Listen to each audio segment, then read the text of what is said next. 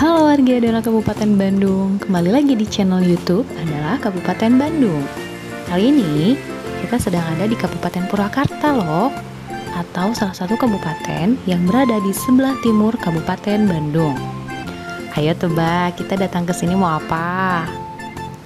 Sebelum menebaknya, jangan lupa subscribe channel YouTube adalah Kabupaten Bandung. Jangan lupa juga like dan komen ya. Eits, kembali lagi ke pertanyaan tadi. Kedatangan kita ke Purwakarta mau apa? Ayo. Makan sate marangi. Makanan enak khas Purwakarta. Atau berwisata ke air mancur Sibaduga? Salah. Masih ingat dengan Panji Petualang? Pawang ular yang dulu sering muncul di layar kaca.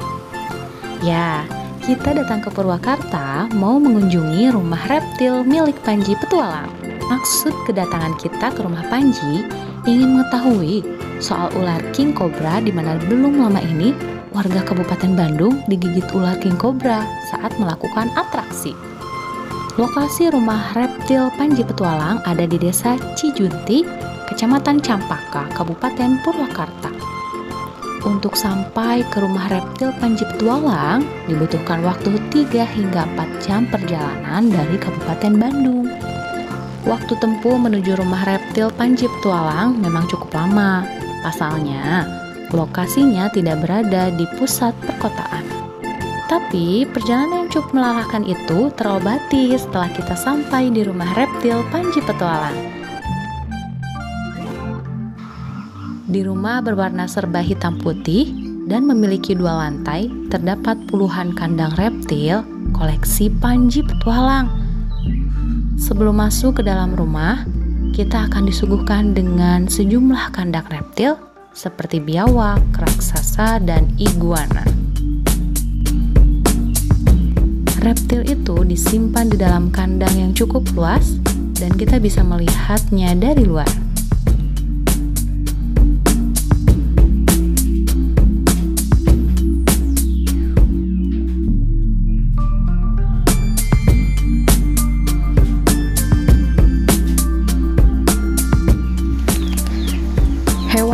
Yang biasa tinggal di sungai itu sangat garang, apalagi melihat warna hijaunya, yang di mana bila hidup di alam, warna tersebut bisa dibuat kamuflase.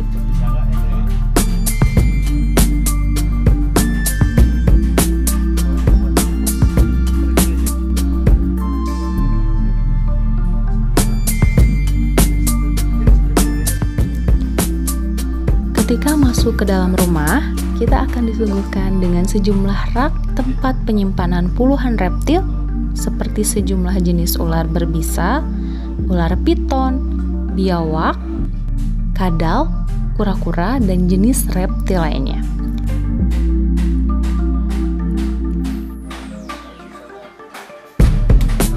Hewan reptil yang dipelihara Panji sangat terjaga kebersihannya. Hal tersebut terlihat dari kebersihan kandang hewan dan kondisi hewannya yang segar-segar. Dari sekian banyak hewan reptil yang ia koleksi, Panji memiliki ular king cobra yang cukup istimewa. Selain itu, ukuran ular king cobra tersebut sangat besar. Menurut Panji, mungkin ular kobra yang ia tangkap di wilayah perbatasan Majalengka dan Sumedang itu merupakan ular king cobra terbesar yang ada di wilayah Jawa Barat, bahkan di Indonesia.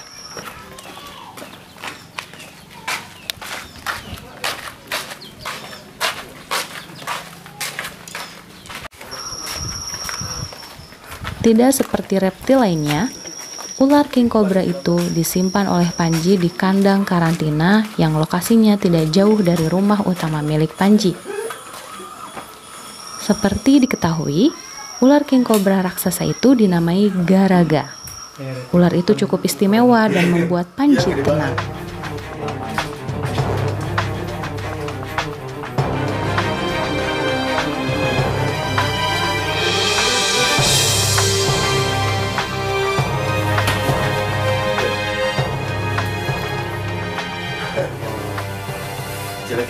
Evakuasi dulu. Tapi itu king cobra juga. Enggak, ini kobra biasa. Nah ini bedanya king cobra bisa sampai segede gini. Kalau kobra biasa ini maksimal size-nya cuma segini kecil. Kalau king cobra ini bisa big size. Nah kalau kobra biasa itu gede. Ular itu cukup istimewa dan membuat Panji senang. Bayangkan saja, selama empat tahun terakhir, Panji baru menemukan ular king cobra raksasa itu.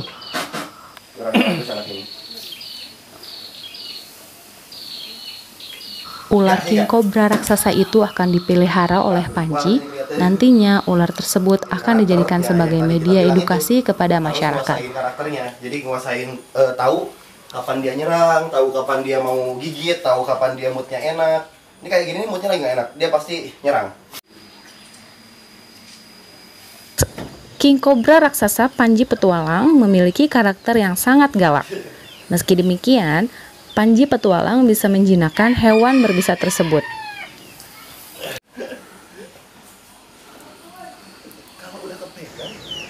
Meski demikian, Panji Petualang bisa menjinakkan hewan berbisa tersebut.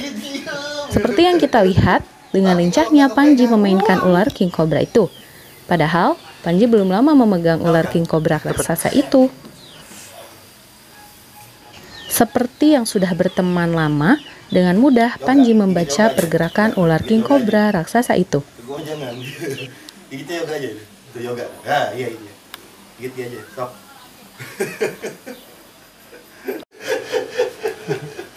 Itu ya.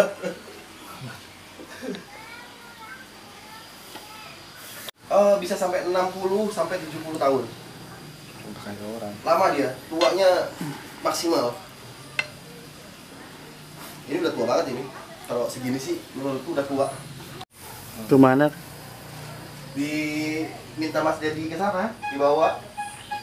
Jadi Kalau bisa diri diri, dipoto, dipoto. Nah.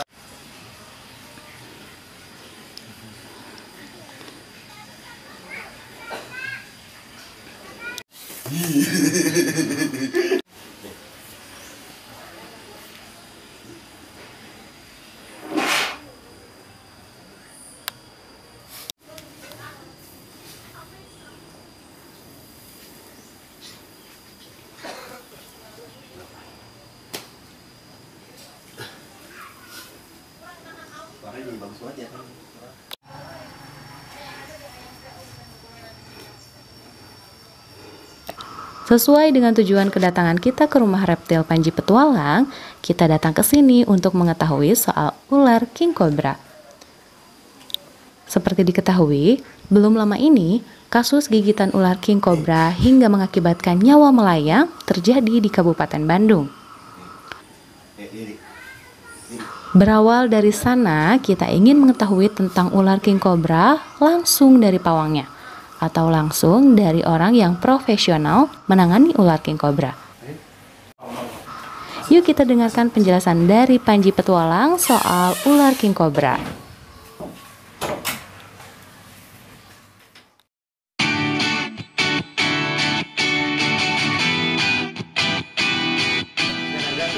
Ditemuinya kapan tuh? Terus Gar- seperti apa tuh cara penangkapannya? Garaga ini memang kemarin itu aku ke batas daerah di Sanca situ dan memang itu merupakan tempat eh, populasi king cobra terbanyak.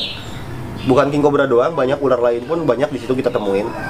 Dan nah, Garaga ini bisa dibilang mungkin salah satu ular paling besar di situ yang kita tangkap dan kita bawa ke sini. Tiga minggu yang lalu sih Di wilayah mana tuh? Di Sanca, Kecamatan Sanca, Kabupaten Indramayu. Oh, Tapi Sanca. dia berbatasan sama eh, Sumedang, Majalengka. Oke. Itu dia umurnya kisaran berapa? Garaga ini kurang lebih 15 tahun harus sih. Eh, soalnya gede banget kan. Ukurannya udah udah hampir maksimal size. Hampir mencapai 6 meteran. Nah, yang di lapangan masih banyak gak yang ukuran segede gitu? Jarang banget. Jarang. Aku nyari garaga ini bertahun-tahun dan tahun ini alhamdulillah baru bisa ketemu. Jadi sebenarnya tujuan untuk nyari garaga ini udah udah dari empat tahun yang lalu lah, gitu. Empat tahun yang lalu aku udah mulai eh, pengen eh, punya pegangan king cobra untuk edukasi, bukan untuk atraksi, untuk edukasi. Jadi aku lagi pengen buka taman edukasi pengenalan reptil dan itu nanti gratis di sini untuk masyarakat yang pengen kenal ular, yang pengen kenal reptil silahkan datang ke sini kalau udah jadi. Nanti ada king cobra besar. Nah ini bedanya king cobra dengan eh, cobra biasa gitu. Jadi bisa langsung praktek, bisa langsung lihat, bisa langsung dekat kayak gitu. Kalau untuk garaga sendiri itu pas ditemuin kondisinya sehat atau gimana? Eh, kondisi sehat karena memang alamnya eh, merawat si garaga dengan baik. Eh, lebih lebih lebih apa namanya lebih agresif daripada barusan. Eh, dibawa ke sini juga dia dikarantina dulu nggak langsung kita bisa ajakin interaksi. Jadi kita suruh dia mau makan dulu, suruh dia ganti kulit pertama di sini dulu, kita kasih minum dulu, cek karakternya dulu kayak gitu. Jadi banyak eh, fase-fase yang eh, kita lakukan pasca dia pulang dari eh, alamnya ke sini.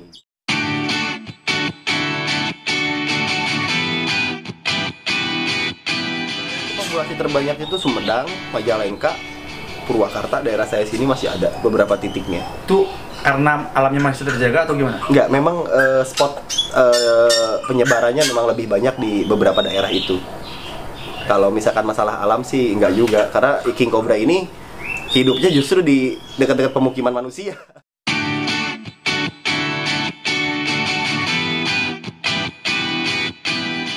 memprihatinkan. Setiap setiap tahunnya itu mengalami penyusutan yang luar biasa dan sangat terlihat kan. Kenapa? Jadi faktor-faktor yang eh, membuat populasi king cobra ini eh, terancam itu adalah pertama penangkapan secara terus-menerus yang dilakukan oleh pengepul ular di setiap daerah. Yang kedua adalah ditangkap dan diambil oleh orang-orang yang tadi itu nyubi-nyubi yang atraksi. Jadi dia nggak bisa ngerawatnya, nggak bisa ngasih makannya, tiba-tiba mati ntar nyari lagi. Nah, kenapa kok mati rata-rata orang-orang awal, orang-orang baru yang miara king cobra itu biar dia bisa deket dan bisa bermain dengan king cobra dengan aman itu dipangkur. Taringnya tuh dipotong. Biar kalau gigit tuh nggak apa-apa. Gitu. Jadi itu cepat mati juga Ya ya? iya pasti karena kan ketika dipotong taringnya eh, itu akan berakibat stres terhadap si ular dan kemudian nggak akan mau makan.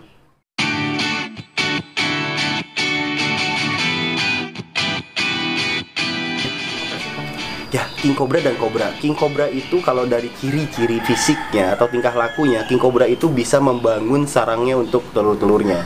Sedangkan Cobra biasa nggak bisa membangun untuk eh, telurnya, membangunkan sarang untuk telurnya. Nah, King Cobra juga merupakan pemakan ular, sedangkan Cobra biasa merupakan pemakan unggas dan tikus walaupun sesekali mereka memakan reptil gitu. Terus King Cobra ukuran tubuhnya bisa maksimal mencapai eh, 6 meter, sedangkan Cobra biasa itu hanya maksimal size-nya itu 2 meteran. Nah, terus King Cobra mengerami telurnya sedangkan Cobra biasa tidak.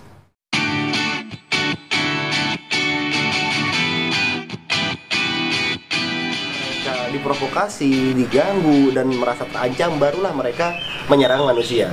Pada dasarnya ular itu takut dengan manusia dan mereka tahu manusia itu adalah ancaman. Secara naluri, secara eh, apa ya?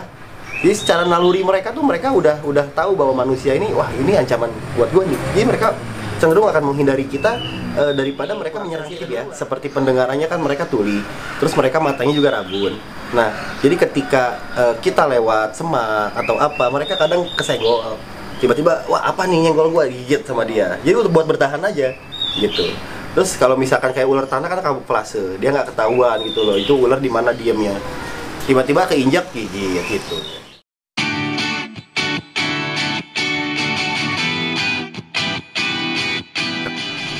Yang pertama biasanya adalah eh, di jam terbang. Di jam terbang atau pengalaman si pawang kurang eh, begitu lama mengenal si king cobra. Terus eh, yang kedua adalah eh, biasanya eh, orang-orang yang belum mengerti tentang eh, tingkah laku, kemudian eh, karakter king cobra itu lebih beresiko digigit ketimbang orang yang mengenal tingkah laku atau eh, karakter si king cobra itu kayak gitu. Terus yang kedua, eh yang ketiga, eh, king cobra bisa sewaktu-waktu menyerang eh, tuanya, mau senior, mau junior, orang-orang lama atau orang-orang baru, itu kemungkinan untuk digigitnya itu tinggi. Karena ular ini lebih agresif daripada jenis ular lain. Ya itu balik lagi ke pengalaman kalau kata aku kan yang tadi aku bilang eh, di awal pengalaman. Itu nggak peduli ular siapa, nggak peduli ular dari mana. Kalau pawang profesional dia bisa pasti menghandling dan mengendalikan si ular. Kalau dia masih pilih-pilih ular berarti dia pawang awal, pawang baru dan itu nggak boleh miara king cobra apalagi sampai atraksi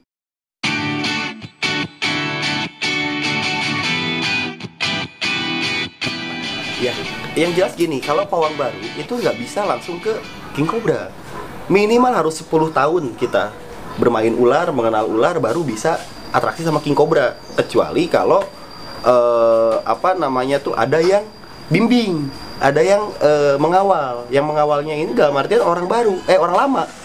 Nah si orang baru ini si pawang baru ini dikawal atau diajarkan oleh pawang yang sudah senior yang udah lama di bidang itu.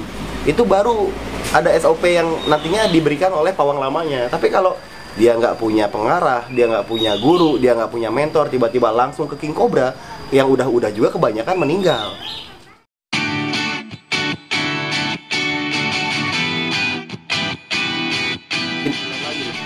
Nah, terus bagaimana cara penanganannya? Nah, biasanya kalau orang-orang yang memang eh, statusnya udah lama, udah ngerti bagaimana cara menangani dari gigitannya itu, Kang, kayak gitu. Jadi kalau kalau kita udah punya SOP-nya, ada ada standar prosedur pengobatan kalau misalkan sampai kena gigitan, bagaimana langkah yang harus kita tempuh, apa yang harus kita lakukan, itu sudah ada. Biasanya ketika orang kegigit itu langsung apa sih yang harus Ya, dilakukan? yang harus dilakukan adalah seperti ini. Jadi eh, yang pertama bisa ular itu tidak langsung masuk dan menjalar lewat darah, melainkan akan tertahan dulu di kelenjar getah bening.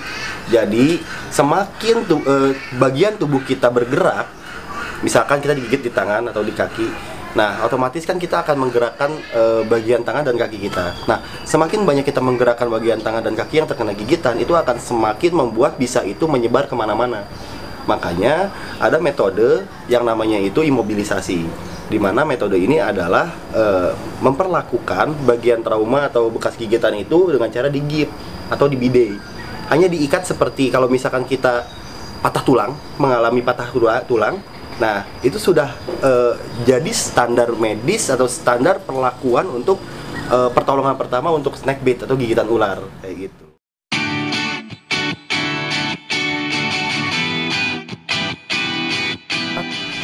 Aku kena gigit ular kayaknya udah gak kehitung karena emang aku dari kecil sama mereka kan sama ular gitu.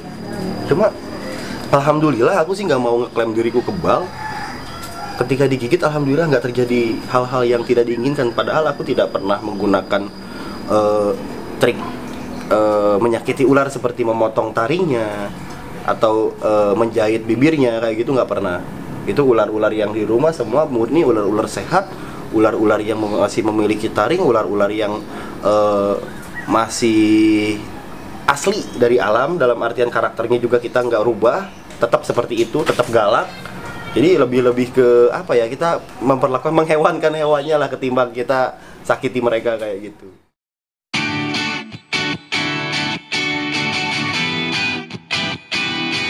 Buat teman-teman eh, pecinta ular khususnya eh, ular yang berbisa sebaiknya mulai saat ini jika tidak ada kepentingan untuk hal apa pun ular-ular berbisa tersebut hanya dijadikan display terutama untuk ular berbisa peliharaan. Nah buat teman-teman atraksi yang tidak punya kepentingan untuk apa pun juga mohon untuk tidak lagi atraksi dengan king cobra. Ya kecuali kalau kalian ada yang mengawasi.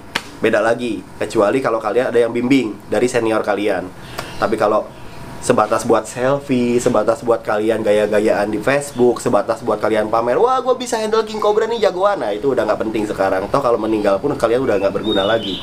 Jadi saran dari saya adalah tujuan kalian itu apa? Miara ular berbisa atau miara ular eh, king cobra?